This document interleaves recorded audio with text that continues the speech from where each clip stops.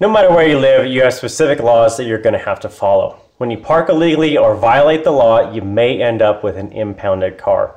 Once the vehicle is towed away, it gets taken to an impound lot. I'm Kanan from Dirt Legal, and today I'll talk through the steps to get your car back from impound and the typical costs that are going to be involved.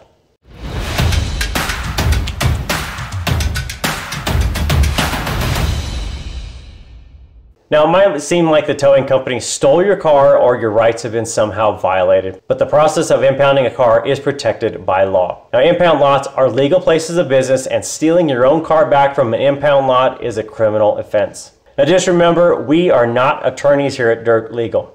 If you need legal advice, please consult a regular attorney in your area. Now, there are plenty of reasons you might end up with an impounded car. Maybe you parked illegally or in a spot that actually wasn't yours. Perhaps it was claimed as stolen, involved in a crime, or abandoned on property that wasn't yours. In any of these situations, the property owner has the right to have your vehicle towed at your expense. Now, there's no set price on what it will cost to get your car out of the impound lot. It's going to depend heavily on the reason it was impounded in the first place. The size, type, and condition of your vehicle will also play a part in that. Now, some of the fees related to an impounded vehicle include towing and transport fees, which can be $300 plus impound lot release fee, which can be 75 to $300 plus, storage fees, which can easily be 100 plus dollars per day, plus if you have any citations or tickets you've incurred which led to the car being impounded in the first place, those are also going to stack up. Now, will your insurance cover these fees? No, probably not. If your car was involved in an accident or stolen, your insurance company might cover some of the bill. It won't, however, cover towing costs for law violations or parking infractions. It's worth asking, but the answer will likely be no. Now, if your car does get impounded, don't expect to get it back quickly. Most impound lots have turnaround times of 12 to 24 hours for processing of their inventory. They might also be closed on weekends and holidays. So their business office might even be in a different location than your car. Now, each state has its own laws regarding how long your car can stay impounded. Once that time frame is up, it's considered abandoned and it's going to be sent for auction. So once it's submitted for auction, you can still retrieve it, but expect to pay even more unless you attend the auction and actually buy it back yourself. Another question that often comes up is if you need to have insurance to retrieve your car from the impound. Well, the answer is pretty much no.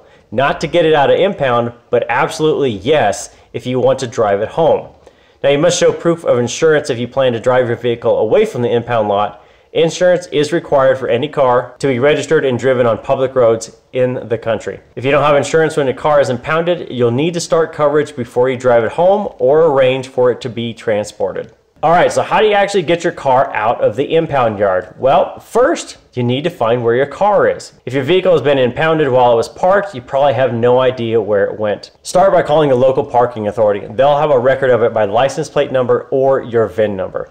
Now you might not find it right away as their records usually take a few hours to update at times and if you don't show up in the system immediately, contact them a short time later. You can also call the non-emergency police number and they'll know if your car has been towed due to a parking violation. Now you can also ask people in the area if they saw anything. If you're parked on private property, the business might have had you towed and would likely know where the car is, or at least they'll know which company took it off. There may be a sign in the area identifying which towing company is contracted and have a contact number for you to call. Now once you find your car, it's time to collect everything you need to get it released. Now find out why it was impounded, what the impound yard requires to release your car, such as mandatory waiting period, and how much it's going to cost before you do anything else. Now sometimes you need to wait for the release. Ask them when the vehicle is going to be processed and what the impound lot's hours are. Now get the clear facts about where you should go to pick up the car also. You might have to visit their offices before you're given access to your vehicle because sometimes this is actually going to be at a different location than the lot. Now most times you'll need a driver's license plus valid insurance card and if you're picking up the vehicle for somewhere else, you'll need their driver's license number and a notarized letter authorizing you can pick up the vehicle. Now you're going to also want to make sure you know what form of payment they take, cash, check, credit card, etc. If you need to have cash, credit card or check with you. Now it's going to be essential you figure this out way in advance. Now when you go to pick up your vehicle, you need to schedule out plenty of time. It's likely you'll have to wait as many impound lots are usually pretty busy. Not only that, but many of those people in similar situations are frustrated and the lines rarely move quickly. Now, one thing to note is you always want to make sure your car keys are actually with you when you go get the car. And I know it might sound obvious, but you wouldn't believe how many people forget to grab them on their way out the door. After all that waiting, it would be a shame if you actually couldn't drive away in your real car. Now, once you get to the office, you'll have to complete some paperwork with the agent. Remember, these agents deal with angry, frustrated people all day long, and they usually aren't the ones that actually impounded your car. Next, you're going to actually have to pay the fees.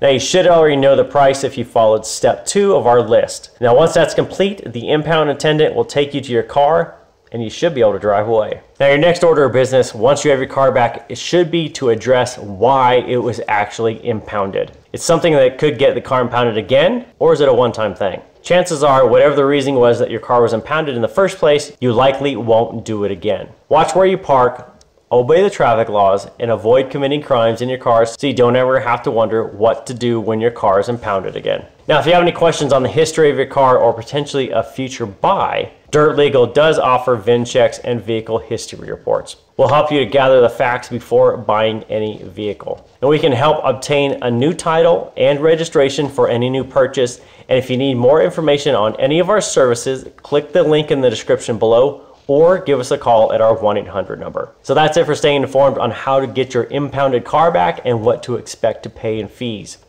We'll see you next time.